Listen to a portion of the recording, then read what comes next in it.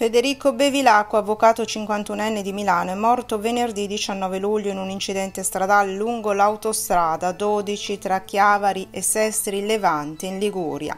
Stava andando a trovare la sua famiglia sulla costa ligure quando ha perso il controllo della moto ed è stato travolto da un'auto. Il tratto dell'autostrada in cui è avvenuto l'incidente, all'altezza del chilometro 37 in direzione Livorno, non è coperto da telecamere e la polizia stradale alla ricerca di testimoni per ricostruire l'accaduto. Secondo una prima ricostruzione, Bevilacqua ha perso il controllo della moto per cause ancora da chiarire, finendo investito da un'auto che sopraggiungeva.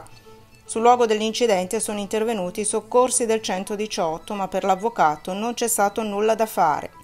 Il traffico è rimasto bloccato per diverse ore per consentire i rilievi della polizia e dei tecnici di autostrade, causando code di oltre 6 chilometri. Bevilacqua aveva uno studio legale in via Panizza a Milano, che gestiva dal 2006 insieme alla moglie Michela Gorini, anche lei avvocato.